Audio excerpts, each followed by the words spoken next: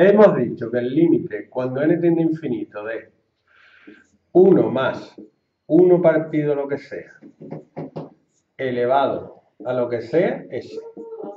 Entonces aquí ponen tres ejemplos muy bonitos. Vamos a empezar con un ejemplo más simple del simple.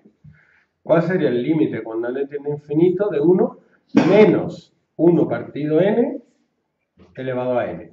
¿Qué es lo que cambia? Menos.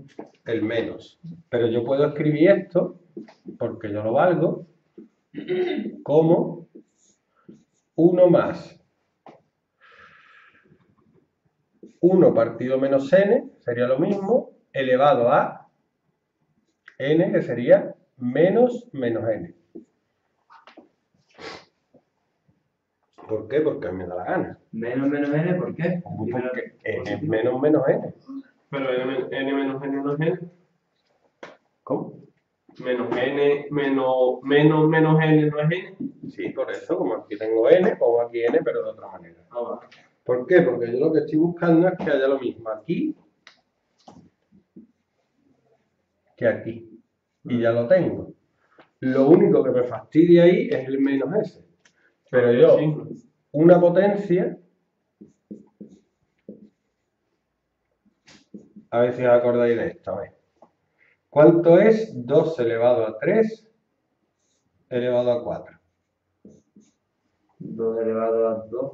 No, así. Ahí está, 2 elevado a 3 por 4. Entonces yo cualquier potencia, por ejemplo 2 elevado a menos 3, la puedo expresar como 2 elevado a 3 elevado a menos 1. Y eso es precisamente lo que hago aquí. Vale. 600. 565. Pongo el menos n ahí y todo lo pongo elevado a menos 1. Sí, creo. Entonces ya tengo el límite este, que era lo que yo quería. Tengo aquí lo mismo que aquí. Entonces, todo esto No, elevado a menos 1. elevado a menos 1. O sea que cuando hay un menos, esto lo podía aprender de memoria ya. Cuando hay un menos, es que tengo que poner menos 1. Vale.